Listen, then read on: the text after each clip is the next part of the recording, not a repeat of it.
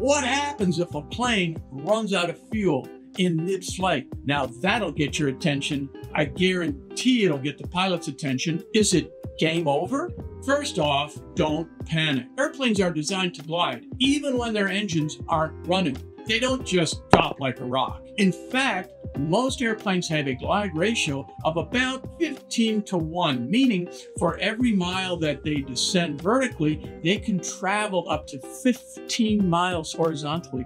That gives pilots plenty of time to assess the situation and find a safe place to land. Real life cases, like the famous Gimli glider, otherwise known as Air Canada Flight 143, just show how capable planes and pilots are in these situations.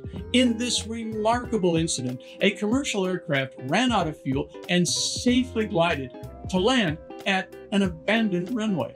This is also a key part of flight training. Pilots are thoroughly trained to handle engine failures and fuel emergencies.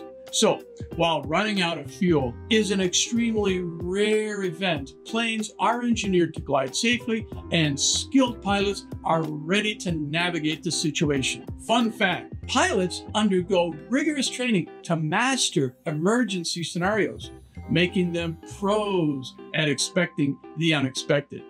Want more fascinating aviation facts? Follow Epic Flight Academy for exciting insights into the world of flight.